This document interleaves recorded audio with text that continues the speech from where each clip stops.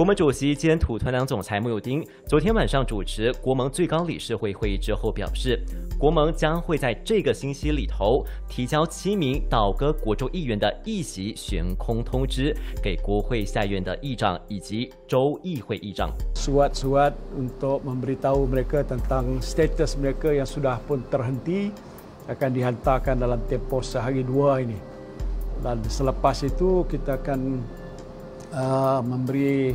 apa makluman atau menyampaikan perkara itu kepada speaker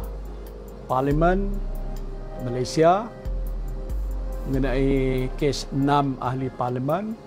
dan speaker Dewan Undangan Negeri Selangor dan juga Negeri Kelantan terhadap dua adun yang berkaitan di Selat Kelang dan juga di Nenggiri Nenggiri di Kelantan. Kita akan hantar surat tu pada speaker uh, tidak berapa lama lagi.